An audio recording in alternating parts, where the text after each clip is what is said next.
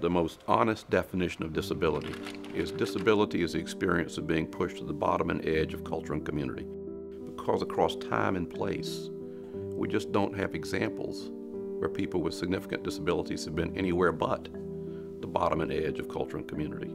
You know, years ago, uh, parents of uh, children with what we call intellectual disabilities basically had two choices. Okay, they could institutionalize their children or keep them at home without any support.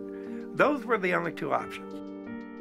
It was common for doctors to advise parents to place their children with intellectual disabilities, then referred to as mental retardation, in institutions.